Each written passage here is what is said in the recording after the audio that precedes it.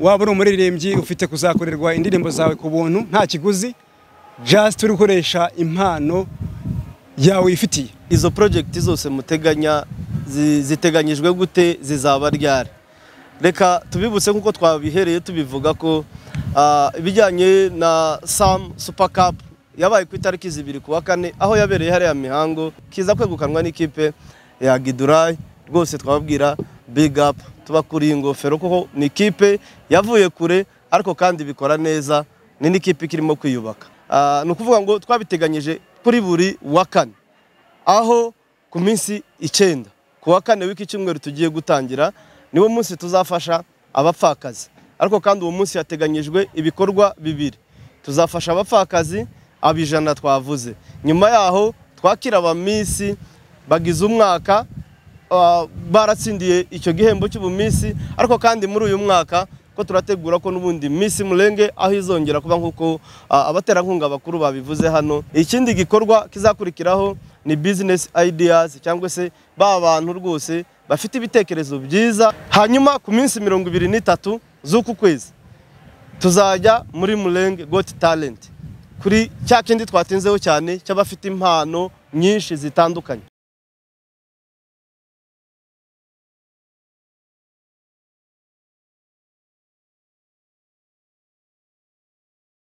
Banyamurenge banyamurengekazi inshuti z'abanyamurenge namwe mwese mwumva ikinyamurenge aho muherereye ku isi.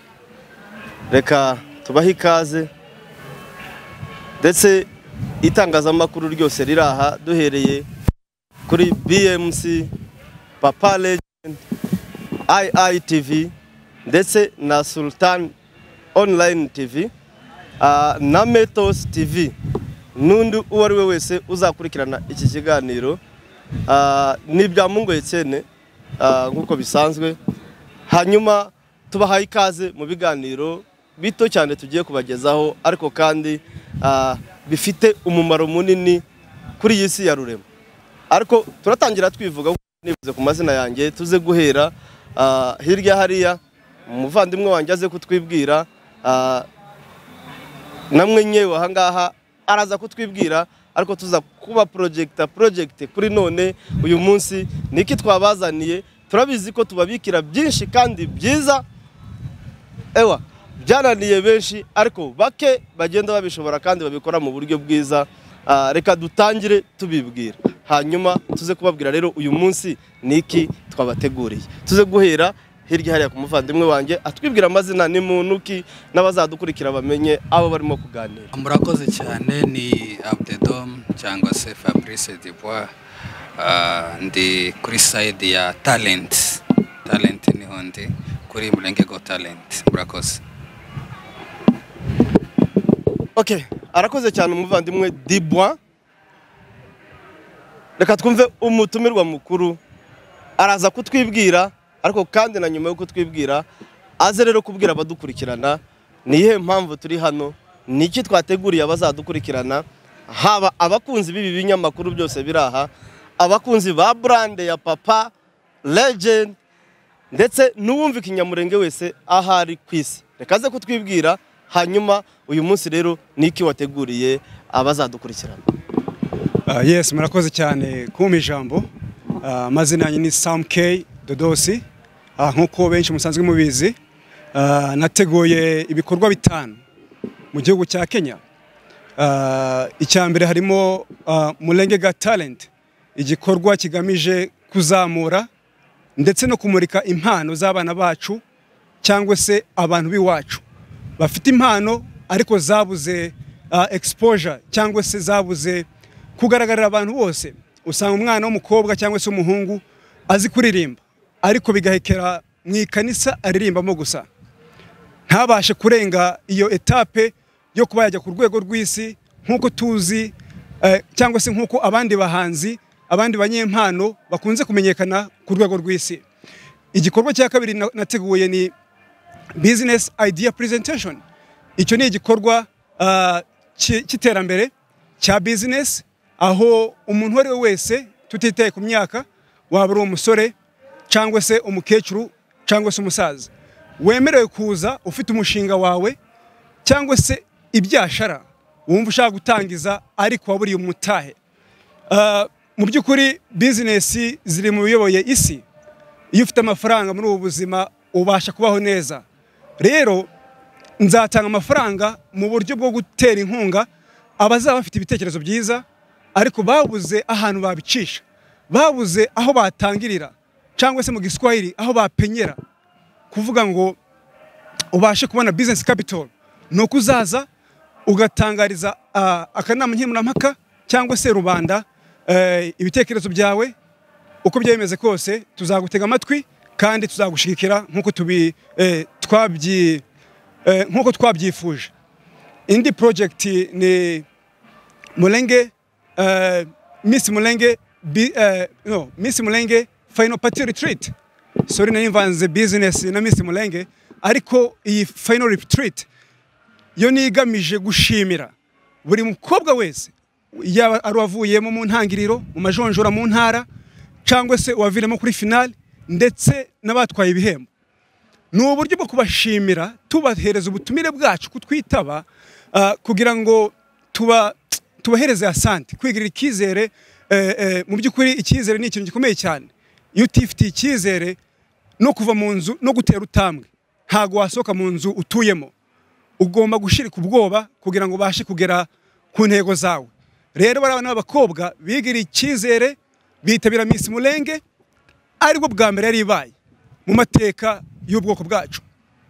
Rero ku bw'iyo mpamvu twifuza ko twasangira ibiryo byiza biri kuri korite ndetse n'ibyo kunywa byiza eh, bazifuza guhitamo mu buryo bwo kubashimira ndetse no kubasezera muri manda yabo ah, ari nabwo dutegura indi minsi murenge 2023 y'uno mwaka hamwe na papa legend OG nk'uko bisanzwe umufatanyabikorwa wanjye umuvandimwe wanjye dusanzwe dutegura minsi murenge rero muzisange muri ibyo bikorwa byose nyange gutangaza muzabashe ku- kubyitabira. Nimubyitabira bizadushimisha. Ah, indi project nari nateguye ah, ni Sam K Super Cup. Mwarayibonye. Yabaye a success. Yagenze neza. Twabashije guhemba abana bacu bafite impano yo gukina akabumbu football. Kandi bafite impano zitangaje. Bafite impano ziri ku rwego zo mu Bwongereza. Zari amakipe ari mu Bwongereza za Man U za Arsenal. Ni abana babonye inzira zo kugera ku rwego rwiza cyangwa se mu bihugu byateye imbere. Babasha eh, kuduheza ishema cyangwa se kuduteza imbere nk'ubwoko ndetse n'umugabane wa Afurika aho bakomoka. Njye byarantangaje byarandenze nararize kubera gusa emosiyo kubona abana bacu bafite ziriya mpano ariko harabuze umuntu uza kuzigaragaza kubitangira mu buryo bwa financial mu mafaranga cyangwa se mu buryo basi bwo kubagurira za balo nk'uko mwabibonye nabahaye za balo mbahereza amajezi amagodiyo ari byo birato byo gukinana akabumbu barabyishimiye cyane. Muzabereka izo video ukuntu byagenze. Byari bihambaye byari ku rundi rwego kandi byadukoze ku mutima. Murakoze izo project zose tuzabahereza amatariki bizaberaho muzabyisangemo kandi mu by'ukuri muzaze. Murakoze. Indi project ya nyuma ariko y'agaciro eh, nateguye eh, gufasha abapfakazi ndetse n'imfubyi. Murabizi ko mu bwoko bwacu iyo umudamu abuze umugabo. Aho ngaho aba ari igihanga aba ari esheke mu buzima bwiwe ibijemo. Itazapfa isibangamye yaba ari mu buryo bwo kongera gushakwa cyangwa se mu buryo bw'imibereho. Either kugaburira abana cyangwa se kwishyura renti turi mu gihugu cy'abandi. Aho badusaba ubukode nta butaka dufite hano. Rero navuye muri amerika mfite umutwaro kuzafasha ababyeyi bacu ah, n'abana b'imfubyi babuze ibyo kurya eh, cyangwa se ibyo kwambara ndetse n'ababyeyi bacu wenda baba ba- bari muri situwasiyo itari nziza. At least nimba arengereza umunsi umwe cyangwa ibiri ndizera ko atari bibi. Ni ibintu byiza ah, rero nimba hari icyo bagenzi banjye bakongeraho ah, nabahereza umwanya wo kubitangariza med- media cyangwa se media. Murakoze cyane. Reka n'ubundi tubwire abazadukurikirana bose nk'uko tubanze dushimire dodos. Kubera ko ibyo mukora ni ibikora inka. Inka niyo yonyine itagira urugingo na rumwe rujya rupfa ubusa. Yaba ikihari cyangwa yaba yapfuye ibyayo byose bigira umumaro. Reka mbanze nshimire dodos cyangwa se brand ya papa legend. Kuko ntabwo bisobanura ko ibyo mukora ari uko mufite benshi murusha amafaranga. Ahubwo mubarusha uh, umutima w'urukundo no kwifuza kuzamura impano za benshi. Hari ijambo nk'ejo bundi wavuze ko buriya impano yose iva ku mana. Ariko kugira ngo igaragare hari byinshi rero mwarushije benshi. Reka maze nshimire cyane cyane dodos kuba uri hano muri Nairobi cyangwa se muri Kenya ah, utaje kuri afere zawe ahubwo waje ku kibazo cyo kuzamura uhereye ku bapfakazi nk'uko wari ubivuze ku bana bafite impano ku bantu bafite ibitekerezo byiza bya bizinesi twababwira iki rero? Ni ukuvuga ngo ibyo byose yavuze ni mwebwe bireba. Mwebwe mw'abanyamurenge mwe impunzi zitandukanye ziri hano mu gihugu cya kenya haba abo bapfakazi yifuje mu bikorwa bitandukanye azabakorera ni uko azabambika. Ahubwo navuga uwo muco uri muri burande ya papa legend. Wakagombye kujya mu mitima y'umunyamurenge uwo ari we wese ndetse n'uwumva ururimi tuvuga. Kugira ngo bahaguruke igikorwa cyiza cyose gishigikirwe. Nimba dodos uri hano burandi ya papa legend mufite ibikorwa byiza muri gukora umuntu wese akagira inyota yo kwihutira gushigikira. Akavuga ngewe iki gitekerezo cyaje cyiza. Uruhare rwanjye ngewe n'iki nge nakora? Icya kabiri abo bireba. Haba ku bafite impano ku bafite ibitekerezo byiza by'ibyashara. Reka mbanze mvuge byenda kuri kiriya gikorwa cya samu supa kapu byabaye ku wa kane bibereye mihango kuva saa tatu kugeza amasaha yose abantu rwose abari bahari twarishimye nabonye abasaza. Reka nshimire umuntu wese wageze kuri kiriya gikorwa wabonye uko byagenze. Kandi buriya iyo utanze impano kuzamura impano iby'ingenzi byarakozwe. Bahawe amabalo buri kimwe cyose cyari kimeze neza. Rero nkavuga ngo papa legend dodos uri hano ibyo mukora byose nibikora inka. Ariko kandi reka tuze gutumira abo bireba. Kiritere ya mbere cyane cyane tuvuze ku bijyanye na ba bizinesi umuntu ufite igitekerezo cyiza cy'ibyashara ni uguhera ku myaka cumi n'umunani kuzamura. Ufite igitekerezo cyiza wese cy'ibyashara azagisobanura. Kandi si ukuvuga ngo ni dodos cyangwa se burandi ya papa legend izagikora. Umuntu wese ahari igitekerezo cyiza ubona ushobora gushigikira. Tuguhaye ikaze kugira ngo ibizakorwa byose perezanse yawe ndetse n'ukuboko kwa buri wese. Kurakenewe.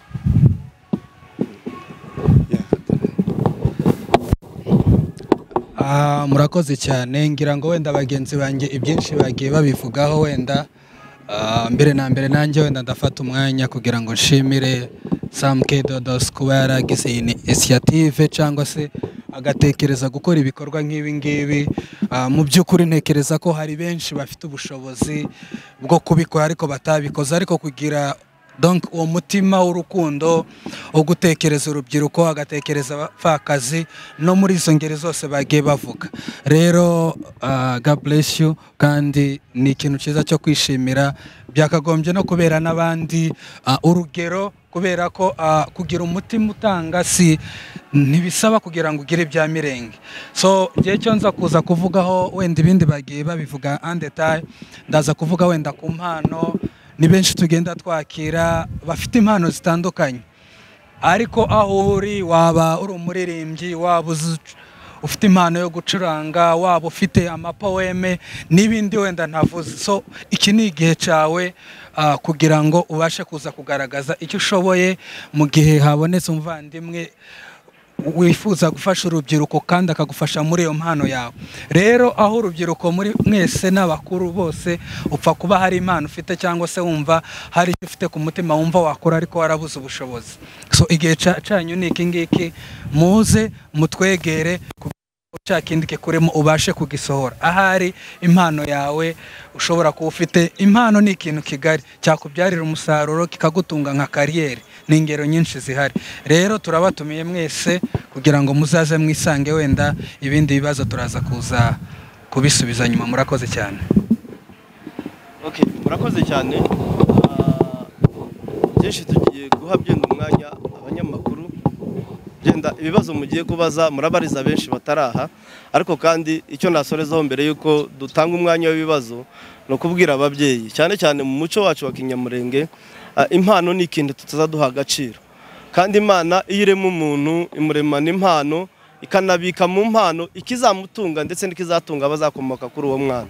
Rero nkavuga umuntu wese ufite impano yaba akiri mutoya cyangwa akuze twabwira ko ababyeyi nimurekure abana ikindi kandi muba ari mwe ba mbere muza kubashigikira. Rero reka tuze guha umwanya abanyamakuru muze kubariza benshi bataraha. Murakoze cyane. Murakoze cyane bavandimwe turi kumwe muri press conference ya Sam K Dodos activity iri kubera hano mu gihugu cya Kenya.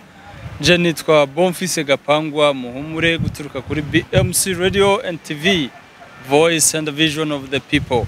Uyu munsi rero ndagira mu kibazo cyane nkibaze Sam K Dodos kuki ibi bikorwa mwahisemo kubikorera muri Kenya mu gihe abantu bose bakeneye ubufasha bakeneye iterambere ku isi mu bihugu bitandukanye.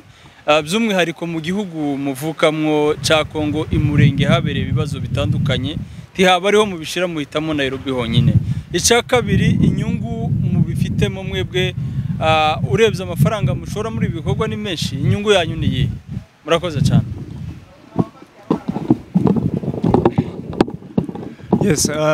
murakoze ku kibazo cyiza mubajije. Uh, impamvu ibikorwa twabishyize mu gihugu cya Kenya ni uko ariho wenda habaye hashobotse kano kanya. Uh, yaba ari mu mpamvu z'umutekano, uh, ni uko igihugu cya Kenya uh, gifite umutekano kano kanya kuruta wenda ibindi bihugu bya Afurika. Murabizi uh, ibiri kuvugwa hano hanze. Uh, ikindi cya kabiri navuga kuri icyo kibazo ni uko muri Kenya naho hari abantu bacu. Eh, tubitwaye mu Burundi tukabitwara eh, muri Uganda nabo batubaza ibibazo bisa. Ese kuki mutabitwaye eh, mu bindi bihugu wenda? Muri Congo cyangwa se muri Kenya? Ndetse no muri Amerika ye kuko naho eh, ha- hari abantu bacu hari ubwoko bwacu. Ariko nuko muri Kenya ariho hashobotse kano kanya kandi ntibivuze ko no muri ibyo bihugu eh, yaba ari iwacu yaba ari mu- muri East Africa yose ntibivuze ko tutabihatwara. Nta munsi ushira abantu bacu batatubaza ko eske kubera iki twebwe mutaza guteza imbere? Ariko kubera izo facteurs nababwiye zibitera ah, zigasa nk'aho ari imbogamizi ariko hagize igihinduka mu minsi iri imbere twajya mu Bugande twajya mu Burundi twajya muri East Africa yose mu bihugu bya East Africa. Twabigeramo tukabasha guteza imbere eh, abo basore cyangwa se iyo miryango ihatuye. Uretse ko n'ubu mu Bugande twagiye twagiye mu Bugande umwaka ushize. Twafashije abapfakazi twabahaye ubunani wa 2022 babashije kurya nk'abandi bose nk'uko indi miryango eh, irya ku minsi mikuru. Ukamuhereza imboga n'umutsima. Babashije kubona ibyo bintu byose. Ndetse Miss eh, Miss Mulenge East Africa aherutse mu Rwanda. Uwo nawe ni umufatanyabikorwa cyangwa se ni umwe dushinga imirimo yacu eh, akabasha kudushikiriza mu gihe turi muri Amerika eh, cyangwa se mu gihe turi kure y'aho ibikorwa bigomba kubera. Ah, ikindi ntibikabatangaze izi project zigeze no muri Amerika. Zigeze mu bihugu byose birimo abantu bacu kuko ntawe utifuza iterambere. Yaba ari abatuye aha ngaha mu gihugu waba uri impunzi utari impunzi umuntu wese ufite intekerezo ufite imbaraga. Abantu bose barangana. It's one of the human rights ko umuntu wese ibyiza bigomba kumugeraho byageze ibyiza bya- byageze ku bandi bantu nawe afite uburenganzira mu gihe ari ibya bose ku bya accessinga naho ubundi ku nyungu dukuramo ni hafi ntayo. Ah, ariko inyungu n'abo dufasha ni uwo mugisha dukorera. Kubera ko turi abasore badafashwa n'abantu n'umuntu runaka cyangwa se eh, groupe runaka turi just abasore yaba ari njyewe yaba ari na papa legend. Abasore just bifuza guteza a- abandi bantu imbere cyangwa se eh, gufasha sosiyete y'abantu ba- ba- bakeneye ubwo bufasha. Nta nyungu irimo ni just uwo mugisha ugasanga umuntu akoresheje amafaranga arenga ibihumbi bingahe by- by'amadolari mu nyungu z'undi muntu. Ni abantu bake babikora. Ntitugace ibintu ku ruhande. Eh, sinshaka kujya muri deep details ariko umuntu wigomwa ikintu cyakamugirira akamaro. Akarenga mwabo agafasha uwundi muntu. Ni abantu bakeya. Rero ibi bikorwa tubikorera just ishyaka n'umutima w'urukundo. Ah, just kubona abandi bantu batera imbere ni byo byishimo byacu. Sawa murakoze. Yego murakoze cyane. Nitwa Aimable nkorera Papa Legend TV hanyuma sindi buze uh, gusubira muri event yarangiye muri zimwe zakuzanye. Harimo iriya ya football uh, Sam K Dodo Cup. Um, reka ngaruke ku bikorwa bindi biri imbere mwavuze haruguru. Igikorwa cya mbere uh, cy'abapfakazi muteganya gufata abapfakazi bangahe cyangwa se kubafasha muri uyu mujyi wa Nairobi cyangwa se muri Kenya? Uh, ni bose cyangwa mufite umubare runaka? Uwo mubare uzahitwamo bigendeye kuki icyo ni ikibazo cya mbere uh, wenda coordinateur araza kumfasha. Ikibazo cya kabiri ni ikintu kijanye na business ideas presentation. Uh, hari abantu benshi bagiye babaza bati ubundi bizinesi yemewe ah, gukorerwa presentation hariya ni bizinesi izaba imeze gute? Ni buri bizinesi yose? Kugira ngo wenda abantu bibaza icyo kibazo ba- babiso- babisobanukirwe. Aimable arakoze cyane. Ah, ku bijyanye n'umubare w'abapfakazi tuzafasha. Urabizi ko dushingiye ku mateka y'igihugu cyacu umubare w'abapfakazi ni mwinshi cyane. Ntabwo byenda bose bagerwaho mu gihe kimwe. Icya mbere twabanza kwihanganisha abo tutazageraho kugira ngo bazihangane. Ariko muri gahunda ihari cyangwa se muri bageti dufite tuzafasha abapfakazi bagera ku ijana nibo tuzageraho kuri iyi rawundi ariko ni ukuvuga ngo ibikorwa n'ubundi byacu cyangwa se bya papa legend bakomeje gukora ntabwo birangiriye aha. Ni ibikorwa bikomeza. Si inshuro ya mbere bikozwe bizakomeza.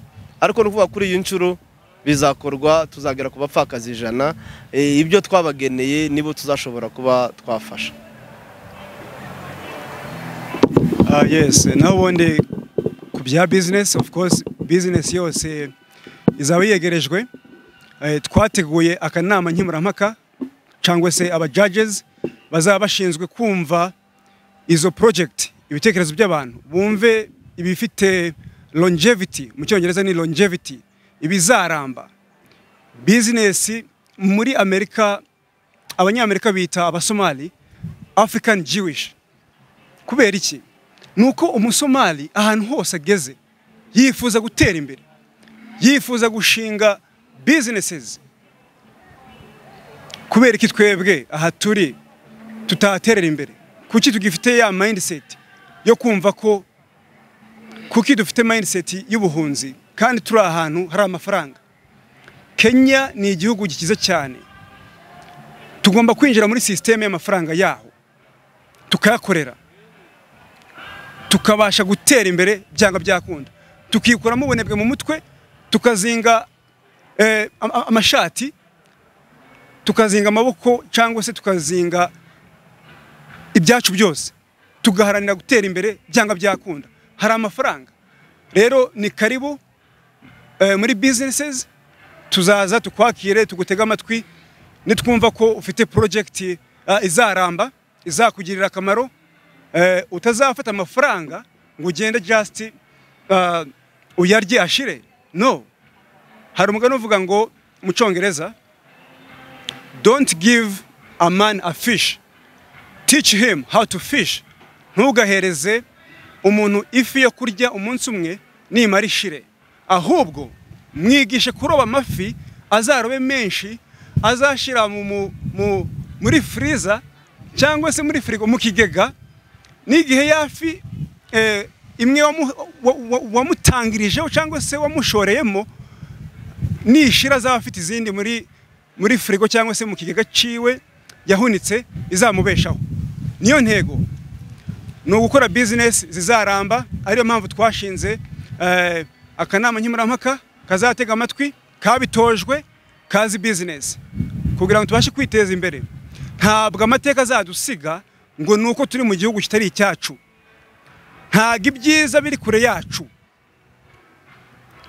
Na hano twahabaho neza na hano twatera imbere. Murakoze. Nitwa kega ndi umunyamakuru kuri sultan online tv reka tubashimire. Hanyuma none tuze kubaza tutabaza nk'abenda kumenya gusa ahubwo nk'abashaka ko bisobanuka bagenerwabikorwa bikabageraho bisobanutse. Reka nibarize. Uh, Mulenge Got Talent ni igikorwa gisha nk'uko Miss Mulenge yaje nuko tubimenyereye mu mahanga bityo birangije ije muri bene Nyirakivuruga. Ariko hari impano tugira zimwe ziba mu makanisa izindi zikaba atari zo kuvuga hakaba n'izindi mpano zitabarwa ko ari nk'impano. Ese muri Mulenge Got Talent dufite iyihe limit? Dufite abantu bazi gufungura? Ubwo ese uwo muntu aremerewe? Hari abantu bazi kubyina za mbyino tumenyereye ko atari iz'imana? Ese uwo muntu we ahawe ikaze? Mwaduha limite nimba hari nimba ari ubuhe bwoko bw'impano butazemererwa kuza? Ikindi ese ko yaduhaye itatuhaye ngo itwime? Yaraduhaye ntitwaguze yaduhaye impano nyinshi muri bene nyirakivuruga. Ese abazohembwa bangana iki ese bose uko bazaza niko bazakirwa? Muraza kuduha umuco hanyuma hari nk'abantu bafite indirimbo bafite amabrand already bakaba bafite eh, navuga iyo talent bari talented ariko bakaba bafite n'ibikorwa already biri hanze. Ese hari ubufasha muzahabwa amafaranga cyangwa hari ubufasha especially nka mu baririmbyi hari indirimbo zemerwa kuri codinga ese umwana uzi gukina? Hari navuga academy muzamwandikishamwo. Kugira ngo tumenye ko bana bafite zino mpano bazazungukiramo nk'uko biri mu nshingano zanyu mwihaye. Murakoze. Ah, murakoze sultan. Ah, izi project zose nk'uko nabibabwiye zifite inyungu. Zifite inyungu kuri ba nyir'ubwite ndetse zifite inyungu nka community yacu. Ah, ibihembo birimo eh, wenda mpereye ku kibazo cya kabiri cyawe ni ndangiza ndagaruka ku cya mbere then icya nyuma. Impano zose ziremerewe. Waba uzi kubyina indirimbo z'isi? Waba uzi ah, kubyina iz'imana? Waba uririmba iz'urukundo? Cyangwa se eh, iz'imana? Rero muzaze ibyo waba ufite byose. Uzabizane tuzagutega amatwi. Urugero wenda america ga talent. Haza ababyinnyi haza aba, acrobatic haza abavuza imyirongi amagitari nta mpano n'imwe ibujijwe Eh, ariko uko tuzagenda tuzireba zinjira cyangwa se biyaregisitara tuzazicamo tuzinyuremo kugira ngo tumekinge sure yuko nta mpano wenda iteye isoni eh, izaca kuri kamera cyangwa se izamurikirwa rubanda. Eh, ibihembo by'uzaba uwa mbere muri Mulenge ga Talent igikorwa cyo kuzamura impano ndetse no kuzimurika azabasha gutsindira ibihumbi mirongo itanu. Then uzaba ufite impano ihambaye azatsindira ibihumbi mirongo itatu uwa gatatu ari we tuza- tuzahemba wa nyuma azabasha kubona ibihumbi makumyabiri. Ibyo ni byo bihembo. Noneho hari za abonemo cyangwa se akarusho. Akarusho wenda hari umwana uzi kuririmba ariko utatsinze utageze kuri finale. Ariko tw- twumvishe ko azi kuririmba afite ijwi ryiza. Yatugeza ku yindi level. As a community cyangwa se as a person eh, nkawe ku giti ciwe tuzabasha kumuhereza kumusinyira muri studio aho bakorera indirimbo amajwi ndetse tumushakire umuntu uzi gukora video nziza amukorere video z'ibihangano byiwe tuzabashe no kubimurika biciye kuri YouTube eh, cyangwa za Spotify za iTunes na za, Bu- eh, za Boomplay cyangwa se za Apple Music. Izo zose ni brande ziselinga music zistreaminga uwo mwana afite amahirwe yuko yatera imbere indirimbo ziwe zikazagurwa akabasha kubeshaho famiye yiwe eh, ndetse nawe akiteza imbere nk'umunyeshuri cyangwa se nk'umwana just ufite impano. Nimba yiga ari umunyeshuri yabasha kwishora minerivare nimba afite business yabasha gushora mu mafaranga akuye mu mpano ziwe akayashyira muri business. Bitewe n'uwo uri we harimo inyungu nyinshi cyane. Icya mbere uzamenyekana icya kabiri ubone amafaranga kandi ah, bizakugira akamaro. Kuri ibyo bintu ni ukuvuga ngo icyo nakongeraho ni ukubwira abantu bafite impano kugira ngo batinyuke. Hari ibintu umunyamakuru yari abajije ku bijyanye n'impano zisa n'izejejwe hagasa n'izindi zitabarirwa cyane cyane mu idini zisa nk'aho zitemewe. Ah, umuco bitewe n'ahantu abantu bari. Hari ibintu byinshi biba bigomba guhinduka ndetse rimwe na rimwe tugaha amahirwe. Kuko impano ntabwo zibarizwa mu iyobokamana gusa. Hari impano zitandukanye kandi zakijije benshi. Njye nkaba iyi mesaje nayigenera cyane cyane ababyeyi ndetse n'iyobokamana muri rusange. Ntibumve ko imana itanga impano gusa zikorerwa mu ikanisa. No hanze y'ikanisa hari impano zifitiye ubwoko umumaro zifitiye igihugu umumaro ndetse zifitiye n'isi yose umumaro. Abakunda kureba nka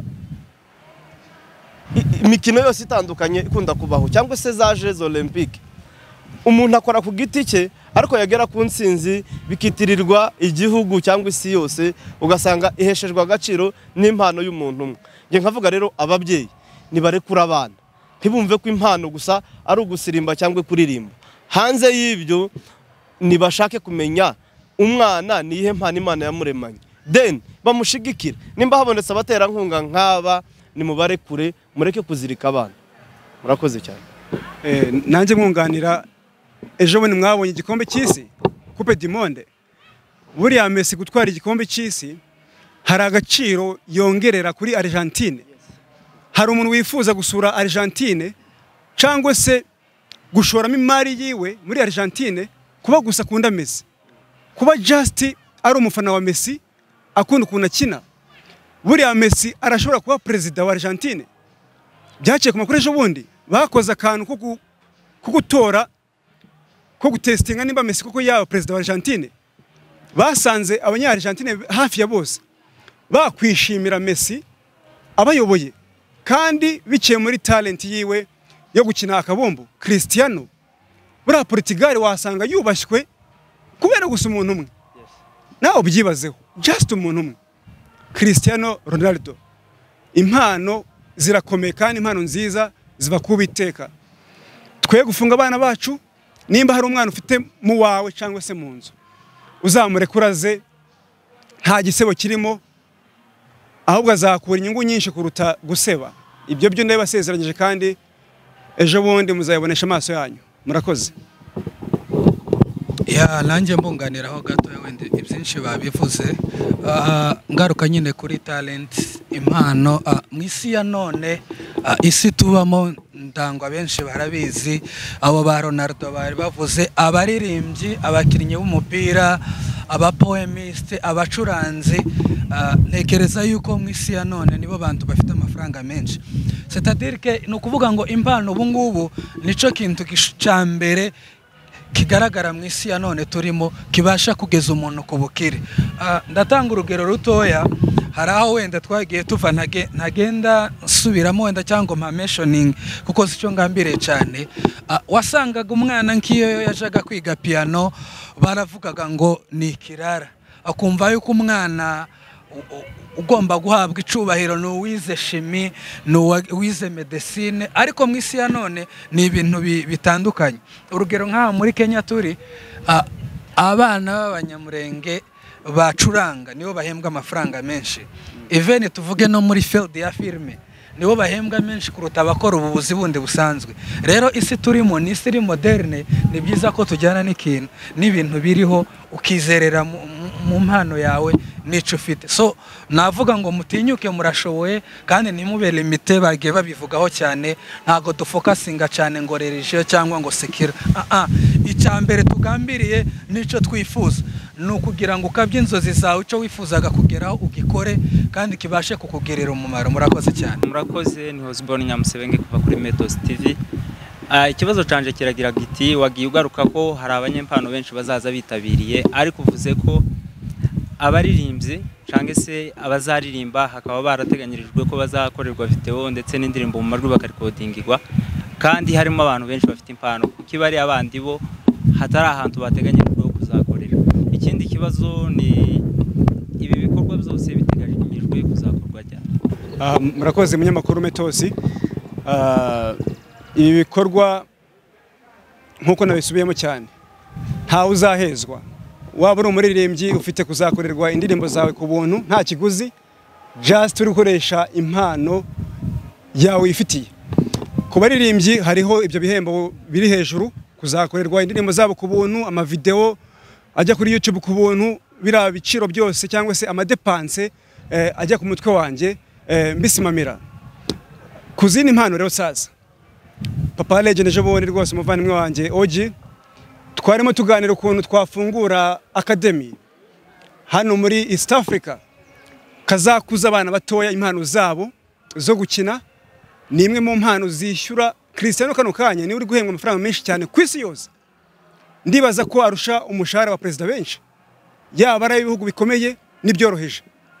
Cristiano rero ako kademi turi gutegura gufungura eh, imana izadufashe wenda abari eh, kutureba cyangwa se kudukurikirana kano kanya bazabashe kumva izi nzozi zacu eh, zo gufungura ubudemi tugashaka ahantu hari ikibanza tugashyiramo ibyatsi cyangwa se tapi n'amazamu tukabahereza balo n'ubundi dore ko ari ibintu bisanzwe biba. Papa legend nanjye dusanzwe dutanga amagodiyo na balo rero kubikorera abana bacu byatworera kurusha gukora ibikorwa by'umunsi umwe kuko akademi yaba ari investment in long term. Mu by'ukuri nta mpano n'imwe izaburirwa ah, irengero cyangwa se itazitabwaho. Eh, wenda reka mabwire nini jambo. Nziranye n'umukuru wa Kenya Football Federation. Wo muri Kenya. Bariya za Gor Mahia za Sofapaka za Tusker FC abakontora ziriya match. Hmm? abaselectinga abakinnyi. Muri Kenya Premier League. Turaziranye. Umwe yarambwiye ngo ngo iyo uza kumbwira kare ko ufite iriya rushanwa rya Sam K Super Cup nari kuba naje ngaselectinga abana. Mu by'ukuri byarambabaje kuba ntaributse eh, kumuteguza cyangwa se kumutumira. Ariko namubwira ngo impano zihari narazibonye nabanditse amazina nzayagushikiriza kugira ngo ah, undi munsi wenda tuzahure ubashe kubareba ubashe kubazamurira izo mpano biciye nyine muri izo connection twagera kure dushyize hamwe eh, twagera kure ah, dusenyeye ku mugozi umwe. Murakoze? Umunyamakuru wa Metos arakoze cyane ku kibazo yarabajije. Eske izo project zose muteganya zi- ziteganyijwe gute zizaba ryari? Reka tubibutse nk'uko twabihereye tubivuga ko ah, ibijyanye na Sam Super Cup yabaye ku itariki zibiri ku wa kane aho yabereye hariya Mihango ndetse igikombe kiza kwegukanwa n'ikipe ya Mihango rwose twababwira sorry ya Gidurayi. Irushanwa ryabereye imihango kiza kwegukanwa n'ikipe ya Gidurayi. Rwose twababwira big up tuba kuri iyi ngofero kuko ni ikipe yavuye kure ariko kandi bikora neza ni n'ikipe ikirimo kwiyubaka. Hanyuma ibikorwa uko biteganyijwe ni ukuvuga ngo twabiteganyije kuri buri wa kane. Aho ku minsi icyenda ku wa kane w'iki cyumweru tugiye gutangira niwo munsi tuzafasha abapfakazi. Ariko kandi uwo munsi hateganyijwe ibikorwa bibiri. Tuzafasha abapfakazi abijana twavuze.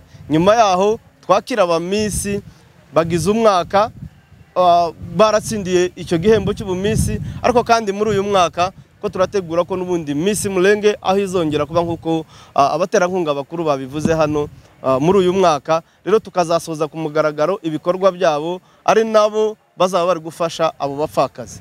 Ikindi gikorwa kizakurikiraho ni business ideas cyangwa se ba bantu rwose bafite ibitekerezo byiza by'ibyashara. Twababwira iki?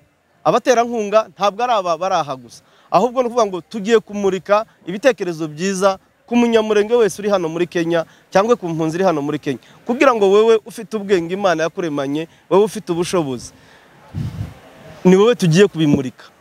Hazahembwa batatu. Ariko nyuma yabo wowe uzakurikirana ibi biganiro wowe uzafasha abangahe hanyuma ku minsi mirongo ibiri n'itatu z'uku kwezi tuzajya muri murenge goti talenti kuri cya kindi twatinzeho cyane cy'abafite impano nyinshi zitandukanye. Na byo ni uko hazahembwa batatu bazagaragaza impano mu buryo bwiza bazahiga abandi. Hazaba hari ababitojwe rwose bazajonjora nk'uko twagiye tubivuga ariko kandi nawe wa munyamurenge we nawe wumva ikinyamurenge twakubwira iki? Kurikirana abafite impano nziza urebe we wahe- washigikira iyihe cyangwa se kuri aba bamaze guhitamo ibi bintu bamaze kubikora shyiramo ukuboko kwawe. Kugira ngo bareke gufasha abo bantu batatu gusa ahubwo bigere kuri benshi.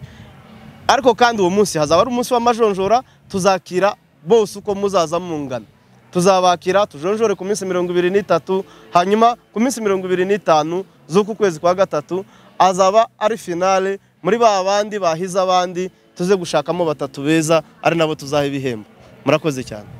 Ni iki kizagenderwaho ni iki muzakora kugira ngo mubashe noneho gutsumurika abazaba batsinze. Nanone kandi ah, birumvikana ko hazaba hari abajajezi abakemura impaka cyangwa se ababasha ababasha ku- kumenya neza iyo mishinga uburyo irimo gutegurwa ndetse na- na- n'agaciro kayo. Ibo bizagenderwa kuki kugira ngo wenda hari ari bo baza gukora yo ako kazi. Ndetse nanone ni ikihe cyizere abafite imishinga yabo abafite impano zabo ko bazahabwa serivisi nziza? Uwo uzaba ufite impano nziza uzaba ufite umushinga mwiza ni ikihe cyizere yagira ko wenda hari bizagenda neza hatazabamo trisheri cyangwa se wenda hari ah, ngo habemo ibintu bitagenda neza? Murakoze. Murakoze bwana Justin IITV 1 abazakora ibyo bikorwa byose bazaba batojwe. Yaba ari aba business ndetse n'aba Mulenge Got Talent. Ni komite y'abantu cyangwa se ni akanama nkemurampaka aba judges bazaba baratojwe. Rero abazabyitabira ntibakagira impungenge. Njye nzaba mpire- mpibereye ubwanjye. Kandi hazabamo icyo bita trust. Hazaba stewardship. Iri ku rundi rwego mutigeze mubona. Buri muntu wese ntawe uzarengana uzitabira wese azahabwa amanota bitewe eh, n'uko yapafominze kubera ko ni ibikorwa tuzaba turi kumurikira amahanga n'isi yose muri rusange. Ntabwo twakwifuza ko hagira umuntu urengana. Byaba bibabaje cyane kubona dutegura ibikorwa byiza hakagira urengana. Rero ndabizeza yuko yaba ari komite yanjye koordinateri bya mungu ni inshingano nawe afite. Dibuwa ndetse n'abandi. Tuzamekinga sho yuko habayemo justice eh, mu bikorwa byose bizakorwa ah, muri iyi event. Murakoze? Ikindi kandi ibyo tuzakora nta bi- nta bizakorwa mu ibanga Eh, ibintu byose biri kuri medi. N'abazadukurikirana bazareba koko umuntu uko yapurezentinze umushinga wiwe habayeho kubera cyangwa ntihabayeho kubera. Medi irahari kugira ngo abatekereza ko hashobora kuzabaho kubera medi irahabereye